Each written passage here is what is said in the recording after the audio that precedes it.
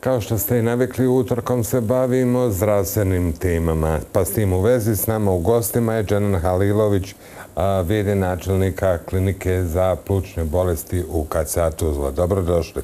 Dobro, našli i hvala na pozivu. Evo prije svega da se naše gledatelje upoznamo zapravo sa organizacijom rada i vašom klinikom. Pa evo, naša klinika za plućne bolesti tu je u sklopu UKC-a kliničkog centra, znači Tuzla. E, ima otprilike 20 zaposlenih specijalista pulmologije, e, ne ide oko e, 70 medicinske sestara koji u kontinuitetu radimo. E, u zgradi koja je negdje od 60 neke godine renovirana, prije bila škola, sad je to naša klinika za plućne bolesti. E, nažalost, imamo puno posla, jer su respiratorne oboljenja, svjedoci smo u zadnjih godina e, u blagom porastu, ali sa tendencom porasta iz godine u godinu. COVID je malo skrenuo pažnju na plućna oboljenja, ali uh, mi znamo najbolje i prije COVID-a kako je to bilo problema, samo sad malo fokus više se uh, pluća su u zadnje vrijeme u svijetu. Tako da ima posla, nažalost, ali tu smo da odgovorimo svim izazovima. Uh, imate li uslove za rad? Odnosno, kakav vam je diagnostički kabinet? Znamo da je preventiva najbitnija, a u ovom slučaju pravovremena diagnostika to jeste. Mi što se tiče evo, ljudstva, mi imamo otprilike jedan mali jaz između onih koji odlaze u penziju, onih koji dolaze, kreću se specializacijama, pa taj dio malo nam predstavlja problema u organizaciji posla, ali nešto što se evo, prevazilazi i funkcioniše sve kako treba. Ono što se tiče diagnostike, diagnostike nikad dovoljno, aparature nikad dovoljno. Mi se možemo pohvaliti da smo prošle godine u martu mjesecu dobili najnovi bronsku koji je bio prvi te vrste evo, u BH s obzirom da je novije generacije. Sada taj bronskop je u funkciji, mi radimo negdje skoro preko 450 bronskopija tokom, tokom godine. E, danas se instalira najnoviji body pletizmograf sa difuzijom. To su e, jedan aparat koji je e, otprilike potreban za diagnostiku i praćenje obstruktivnih bolesti kao što su jasma i hronična plućna oboljenja. A, nažalost, mi smo opet Tuzlanski kanton regija koji ima puno pacijenata koji bave, odnosno oluju od obstruktivnih bolesti. Tako da evo i s ovim uh, aparaturom možemo reći da nešto što je obnovljeno, a nije prije 25 godina su ovi prihodni oprema je, koja je došla na kliniku za plućni bolest. Tako da smo mi se evo sa s ovim novom opremom vratili u nekakve bazična stanja, narod, navodno i sa razvojem tehnologije, neke nove stvari su dostupne. Mi se nadamo da ćemo u budućnosti još novije tehnologije uvesti, novih diagnostičkih i terapijskih procedura na klinici. Samim tim, evo, vjerovatno ste vi upoznati što smo stentirali pacijenta prilikom prehodnih par mjeseci. To je neka procedura koja se do sada u Bosni i Hercegovini nije radila. Mi smo prvi put radili pacijente koji su imali tumor Malo više slobodno ja. o tome progovarati. Pa evo, mogu vam reći da je e, pacijenti sa karcinom pluća su prisutni e, isto u većem porastu iz godine u godinu zadnjih, zadnje vrijeme. E, ovo su pacijenti konkretno koji su imali tumore u smještenu disani put i samim lokacijom ti tumori su predstavljali njima e, i jedan otežavajući faktor za kvalitet života. Pored toga što imaju tumor na plućima koji treba tretirati hemoterapijski i radioterapijski, e, samom lokacijom je taj fizički pravio problem. Tako kod ova dva pacijenta smo uspjeli da uradimo u našim uslovima u kabinetu za bronskopiju e, resekciju, odnosno otklonili smo te tumore iz disajnog puta, ali zbog tendencije rasta to morali smo na neki način da zustavimo to smo zustali pa sa plasiranjem dva stenta u disajni put, da znači dobili smo kvalitet života kod tih pacijenata da bi mogli da e, prođu tu dalje terapijsku mjeru i hemoterapije, radioterapije koju oni evo, u ovom toku primaju. E, to je nešto lijepo kad vidite pacijenta koji vam uđe da ga čujete na vrata kako diše, a posle procedure, posle završenog svega što smo odradili, svo, ti pacijenti evo i dan danas dolaze na kontrolu dobri, stabilni što se tiče disanja, ali nažalost evo bori se dalje sa teškom bolešću. E, mi smo to uz pomoć e, jednog prijatelja iz Beograda smo, koji je došao, obučio i pokazao tu proceduru, ali mi evo to nešto pokušavamo i ranije smo odlazili u Istanbul da vidimo kako bi se to moglo da implementiramo naš svakodnevnu obrazac rada. E, tu je smo uspeli i uz pomoć našeg profesora, doktora iz Beograda da to realiziramo. Naša ekipa bi sa nabavkom neke opreme koja je, koja je planirana za realizaciju u budućnosti mogla upravo tim izazovima i da, i da ovaj, izađu u susret i da pasiranje sljedećih stentova, nadam se da ćemo moći mi raditi sami uz superviziju drugih, drugih koji to rade. Uglavnom sve se to radi na klinici za plućne bolesti. Tako je.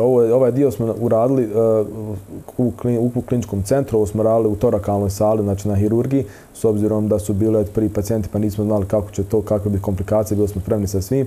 Nadam se da u budućnosti to moćemo tu samu proceduru, nećemo morati ići na sami klinički centar u sklopu UKC-a, već da ćemo moći na klinici za plućne bolesti, jer evo nekakav proces renoviranja samog tog bronhološkog kabineta je u planu, samim tim da možemo odgovoriti i tim izazovima. Ajde da krenemo redom i da svakoj od ovih, nažalost, bolesti damo dovoljno prostora. Koja su to najčešća oboljenja zbog kojih vam dolaze pacijenti i zbog čega se najčešće zadržavaju? Pa, hajmo reći, tu su ova naša domaća oboljenja, tu su i asme, E, od obstruktivnih bolesti asma pluća, odnosno imamo hronične obstruktivne plućne oboljenje. E, oboljenja koja su e, direktno ili indirektno posljedica iz stila života i iz ovog zagađenog načina života u Tuzlanskom kantonu sa populacijom koja je konzumenti velike količine cigareta, tako da sve to kad se sumira nešto mora da pati pored kardiovaskularnog sistema, pluća su prva koja ispadaju iz funkcije, tako da u tom smislu imamo dosta pacijenata hroničnom obstruktivnom plućnom bolesti koji e, dolaze skoro svakodnevno da vide se od diagnostike do terapijskih mjera.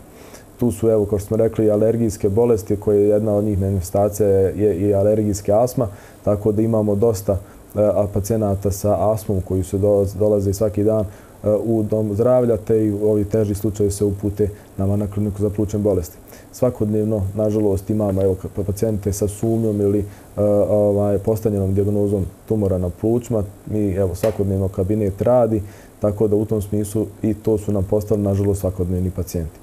To su neke najčešće oboljenja. Mi imamo također mnoga oboljenja koje su komplikacije drugih bolesti. Na primjer, imamo dosta embolija pluća, kod znači, vaskularnih oboljenja koji, se, koji su manifestacija, manifestiraju i na pluća, s obzirom da su pluća evo, kao jedan e, filter koji krv prolazi u velikoj količini.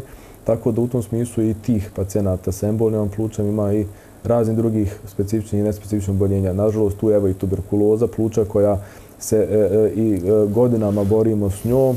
E, I dalje je prisutna. Mi smo prošle godine imali 55 pacijenata liječeni na klinici, prijehodne godine je bilo 66. Tako da taj nekakav broj 60 pacijenata persistira u zadnjih par desetina godina nešto je bilo e, ranije e, koje dok smo imali jedan DOC sistem praćenja i terapijske mjere koja je bila od UNDP-a, je to bilo malo jednostavnije doći do terapije. Sad u zadnje vrijeme malo kako je federalna vlast preuzela, e, vlada preuzela nabavku te terapije za ATL, malo imamo problem oko nabavke neke lijekova, ali i tu evo, je u procesu realizacije rješavanja tih problema. Tako da evo, tu su nekakva najčešća oboljenja koja su viđena na klinici za plućne bolesti. Stručnjaci tvrde da je, su plućne oboljenja zapravo jedna od onih s kojima se najteže boriti. Pa mogu vam reći da oboljenje koja, nažalost, mnogo početnih simptoma ostaje neprepoznato. Mi sami ignorišemo te tegobe.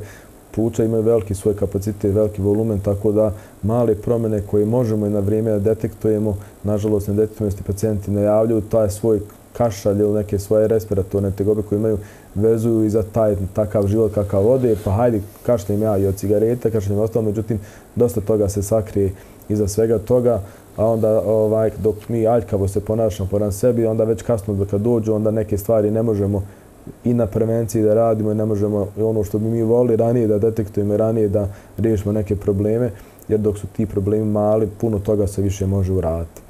Ali, slučajnici su pravu, sve veći broj pacijenata koji zahtijevaju neki vid respiratorne diagnostike i terapije i evo mi za sad možemo da pariramo tim potrebama.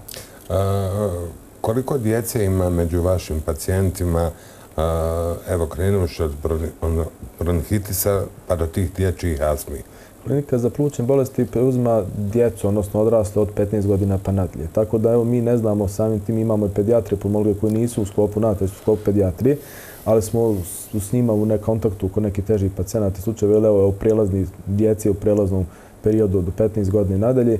Mi imamo pacijenata u tom, godi, u tom godištu koji su leže kod nas. Mi trenutno imamo o, i tih takvih djece sa tim godinama koji oboljevaju od najgorih pa i evo i do ovih lakših oboljenja, ali same pediatrijske populacije, nažalost, ne znamo tačan broj jer to je za sad se pediatri bore. Naravno, mi imamo i te sezonske neke borbe koje vršimo od novembra do pajetne do kraja marta. Mi imamo svake godine problema, odnosno izazove kako riješiti influencu, pa evo, gripe koje ima, RSV i ostalo što se u ovoj godini pojavljivalo i bilo je sigurno i više i u prošlim godinama, toliko nismo detekciju vršili koliko sada virusologije radimo.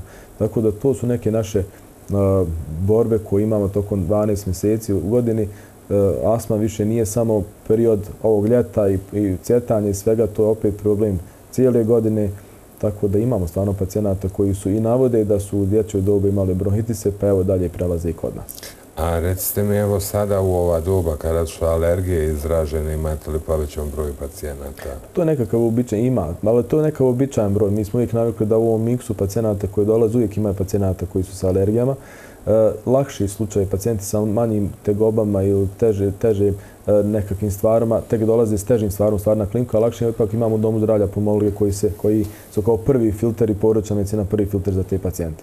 Tako da samih ne težih puno oblika asme ili nekontrolisan teže kontrolisan oblik asme i nema toliko ili mi toliko i ne detektujemo tu asmu, pa to je sad problem da li je to asma ili hronična obstruktivna pluća bolest, ali evo upravo i u cilju bolje detekcije i bolje terapijskog odgovora od danas se instalira aparat za body protisomografiju i difuziju gdje ćemo moći onda je lakše e, i da detektujemo i da pravilnom e, upotrijebimo upotrebimo pumpicu tamo gdje treba, kod kojih pacijenata treba. A, recite mi, kada je u pitanju karcinom pluća, a, s razlogom a, ga nazivaju jedan od vodećih a, smrtonosnih razloga u svijetu. Da. Pa vidite, upravo ono što sam malo primjer, nemamo a, markera za detekciju ranu nekog karcinoma pluća. Nemamo kao što imamo i za dojku, i za prostatu, i za crijeva neke tumor markere koji mogli uraditi, koji, koji bi bili kao screening za te pacijente koji riziko faktor ima. Eh, mnoga, mnogi centri i svijeta su pokušavali, radili su i taj eh, e, nisko e, eh, voltažni, odnosno sa slabom dozom zračenja CTV, to je rizičnoj populaciji kao što su na primjer u rudari, pa se vidjelo da se nešto ne može toliko naći i na vrijeme. Tako da nema nekakvih načina da se dok se nađe to malo, ne, gledamo mi to kad je nešto malo, slučajno se na sistematskim pregodima nađe i tako bi bilo dobro kad bi sve firme vršile te sistematske preglede sa makar jednom do dva put slikanjem tih rizikog grupa rengenskih slika, slika. Da se može naći već neke promjene od nešto manje od cent koji bi se mogli onda i na vrijeme i operativno stranti pa bi i kvalitet života i dužina života u tih pacijenata bio bolji. Kada govorimo o onim najtežim pacijentima kojima, nažalost, a, je prognozirana smrt i koliko dugo otprilike e, mogu živjeti po medicinskim standardima, e, vi vodite brigu i o njima.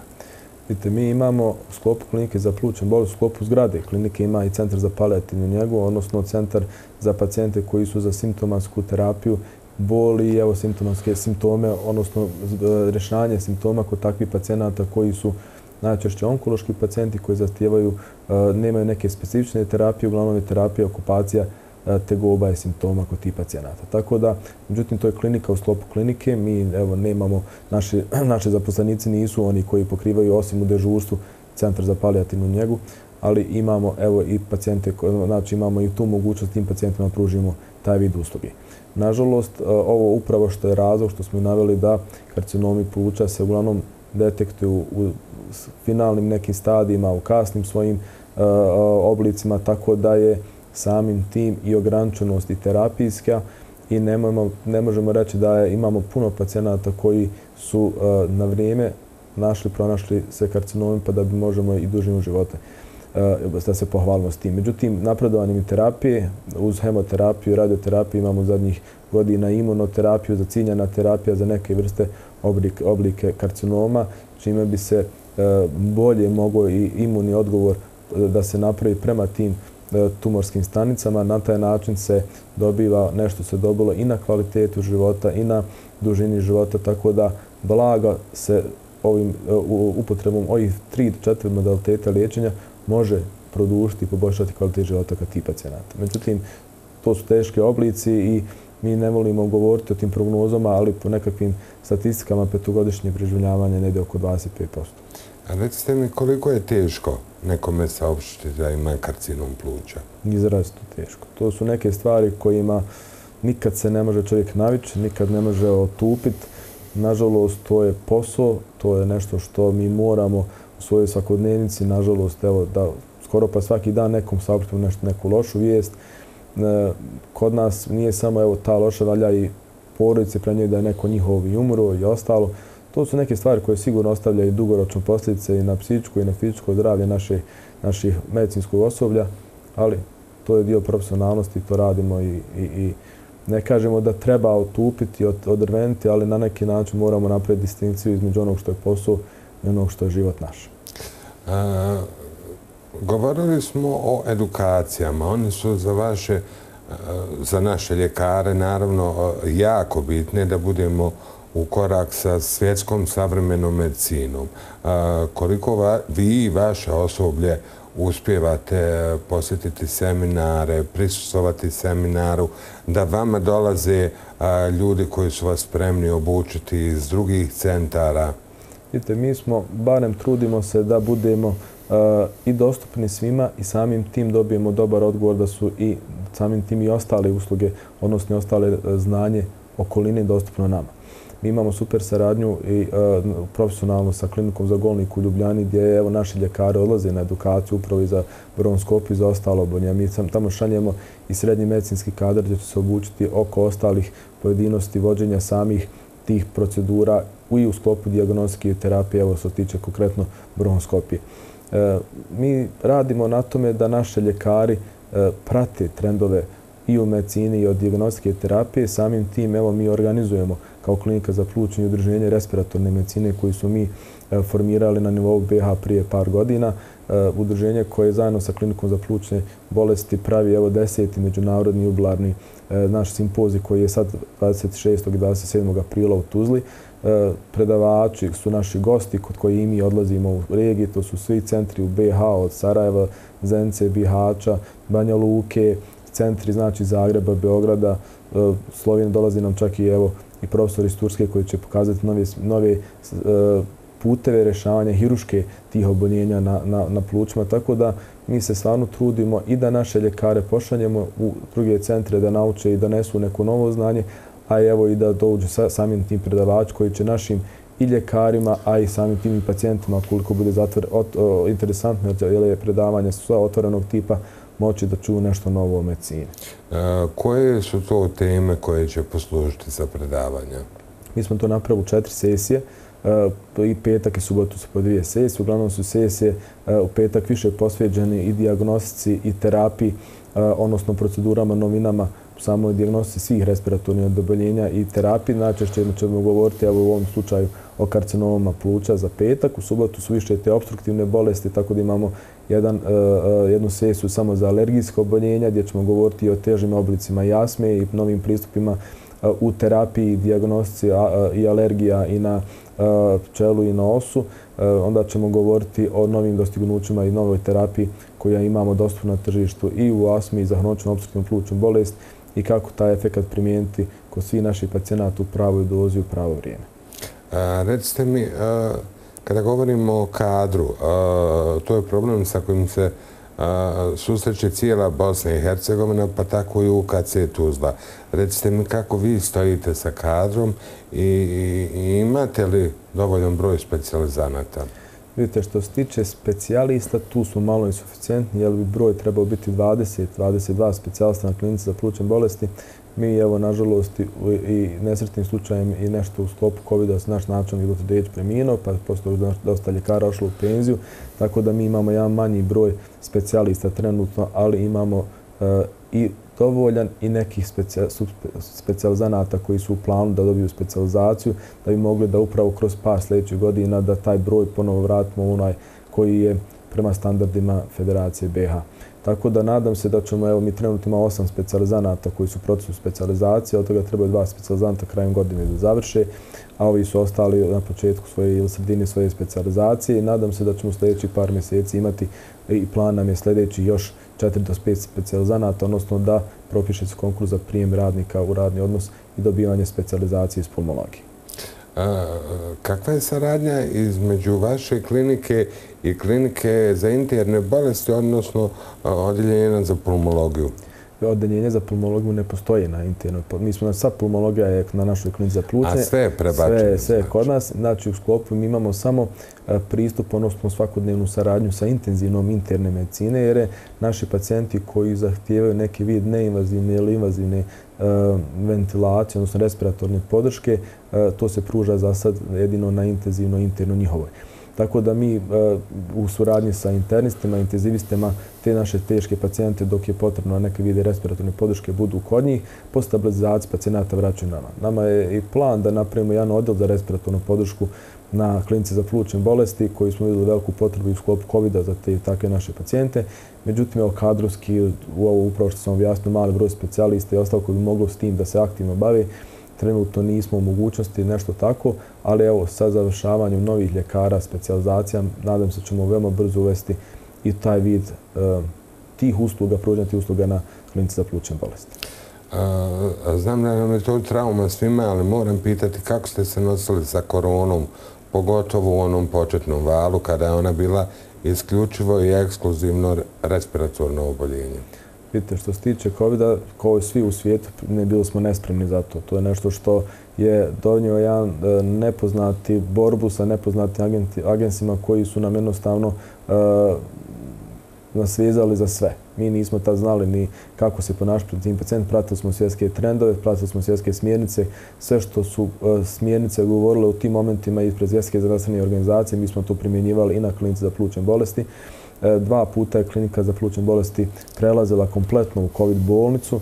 E, uvijek se taj dio e, početnije ostavljao na kliniku za infektivne bolesti koji su kada kapacitete te klinike budu do 90% popljene, mi onda otvoramo kliniku za plućne. Tako da je dva puta kompletna klinika fizički prešla u COVID bolnicu. Mi smo tada e, našu kliniku za plućne bolesti, odnosno odjel za pulmologiju, prebacili u stopu plave bolnice na odjel fizikalne medicine koji su nam uručili bili jedan sprat. Tako da smo mi smo i dalje se nastali sa borbom, odnosno za borbom za naše pacijente klasične koji su bili diagnostika i terapija nije stala za te pacijente, ali evo s druge strane smo i fizički kapacitet klinike i svi su naši ljekari bili aktivno uključeni u terapiju i tretiranje pacijenata s COVID-om.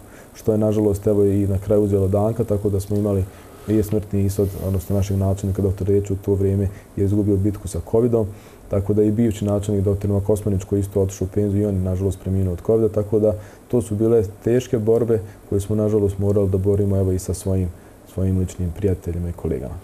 Gdje je COVID sada? Ima li još oboljeli od COVID-a? Da li ih je bilo ove godine u ovom ajmo reći, jesenje-zimskom periodu? Bilo, nešto manje. Najviše je sada bilo ti ostali influenci respiratorni socijalni virusa. E, možemo reći da je, da je e, zanemarivo mal broj COVID-a pacijenata, jer i evo od zadnjih ovog e, predprošlu godinu dogovora s pacijente, odnosno klinike koje imaju prvenstveno to oboljenje, neku, ili evo, interna ima nešto pacijenta koji su neregulisan da bi diabetes ili infarkt, više ne primamo klinike za plućan infarkt, već primaju e, ta, te klinike i prave izolatori, odnosno e, sobe koje bi mogli primiti taj broj, mali broj pacijenata sa, sa COVID-om. Tako da i mi smo imali na klinici, imamo i dalje, znači jedan, jedan dio odvojen gdje, će, gdje, gdje leže naši pacijenti koji uz našu oboljenje respiratorno ima i COVID. Evo, mi zadnjih par sedmica nemamo to, na tom modelu nijednog pacijenta, tako da, hvala Bogu, nismo, nismo morali s tim da se borimo, ali respiratorni virusi i influence su nešto što se nama prisutno svake godine u ovom periodu od novembra do marta i mogu vam reći da je bilo ove godine dosta pacijenata sa tim vrstama problema. E, nisu, nismo imali puno pacijenata koji zahtijevali da vidi respiratorne invazivne podrške, tako da mali broj pacijenata je bio na intenzivno interno, ali uglavnom smo uspjeli sve ostale pacijente zbrinom u nas na klinici. Kakvi su planovi za dalje? Veliki, svakako. Mi se nadamo, pa evo, e, prvo plan nam je da ako boda kadar obučimo svemu i da e, ove mlade ljekare koji su u velikom broju sad kod nas na klinici, da nauče i da pokupe. Nije samo, ne mogu i ne mogu saznati od nas sve. E, najbolje će saznati kako se radi, kako se ne radi, gdje mi grešimo, a koliko odu neki od centara i okoline regije i evo Evrope, što da ne. E, samim tim, to znači plan edukacije našeg osoblja kako i ljekara, tako i srednje medicinskog kadra. E, plan nam je nabavka nove aparature koja bi omogućila veći pružanje usluga našim pacijentima, tako na primjer evo i rigidni bronskop i nekakva respiratorna podrška koja je potrebna prilikom plasiranja stentova koji će, nadam, nadam se, uskoro moći da se pružaju na klinici za plućne bolesti kao jedini u BiH. E, mi se pokušavamo pratiti trendovi diagnostike i za bronskopije, nabavku nekih dodatnih terapijskih diagnostičkih e, aparata da pružimo veći broj usluga našim pacijentima. Tako da nadam se da ćemo evo, uspjeti u svemu tome realizaciji. Zadnjih dvije do tri godine uspjeli smo, imali smo veliku podršku i menadžmenta. Ja se nadam se da će u budućnosti isti, isti takva podrška i bolja biti. Naši su planovi veliki u koji bi mogli da odgovore i svim potrebama i pacijenata koji se javljaju na kliniku za plućne bolesti i nadam se da će se biti realizirano. Hvala vam puno e, na ovom gostovanju i evo budete li imali neku novu priču, e, nešto novo da ste radili, naravno e, vrata naše kuće su vam uvijek otvorene. Hvala vam i nadam se da ćemo s tim povodom se brzo opet vidjeti. Hvala još jednom.